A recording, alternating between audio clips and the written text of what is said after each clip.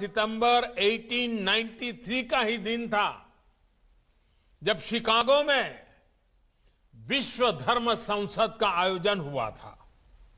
आज के ही दिन स्वामी विवेकानंद ने उस वैश्विक मंच पर खड़े होकर दुनिया को भारत के मानवीय मूल्यों से परिचित कराया था। आज दुनिया ये महसूस कर रही है कि 9/11 जैसी वो त्रासदी भी जिसे भी 20 साल हुए हैं, त्रासदियों का स्थायी समाधान मानवता के उन्हीं मूल्यों से ही होगा। एक और, हमें इन आतंकी घटनाओं के सबक को याद रखना होगा तो साथ ही मानवीय मूल्यों के लिए पूरी आस्था के साथ प्रयास भी करते रहना होगा। साथियों, आज 11 सितंबर को एक और बड़ा अवसर है।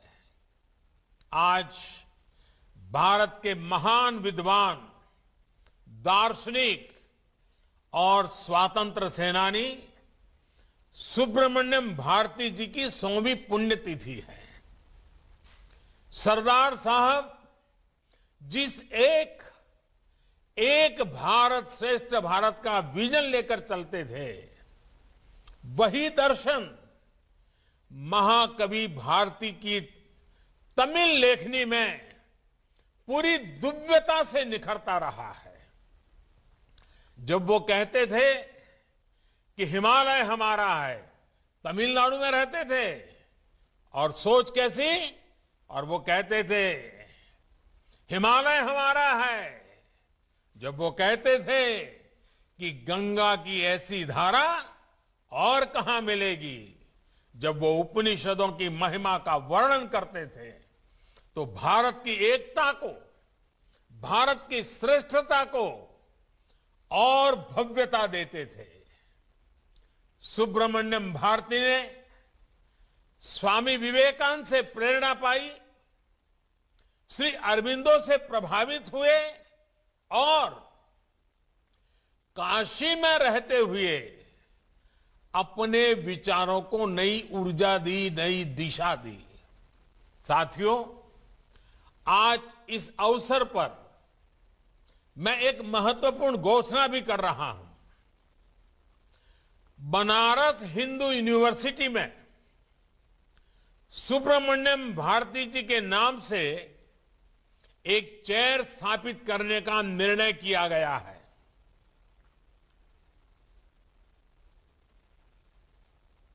तमिल स्टडीज़, तमिल भाषा समृद्ध भाषा है, विश्व की सबसे पुरातन भाषा है, और हम हम सभी हिंदुस्तानियों के लिए गर्व की बात है।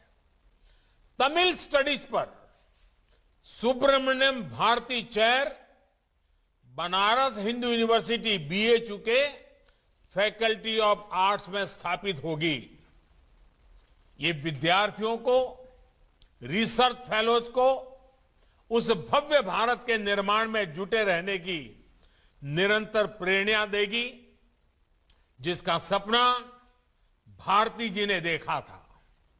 साथियों सुब्रमण्यम भारती जी हमेशा भारत की एकता पर, मानव मात्र की एकता पर विशेष बल देते थे।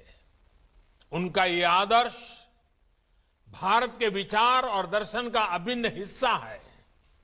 हमारे यहाँ पौराणिक काल के दधीच और कर्ण जैसे दानवीर हो, या मध्यकाल में महाराज हर्षवर्धन जैसे महापुरुष सेवा के लिए सर्वस्व अर्पण करने की इस परंपरा से भारत आज भी प्रेरणा लेता है।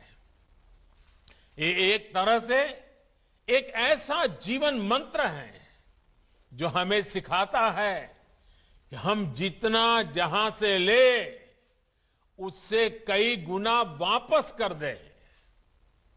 हमने जो कुछ भी पाया है वो इसी धरती से पाया है। हमने जो भी प्रगति की है, वो इसी समाज के बीच की है।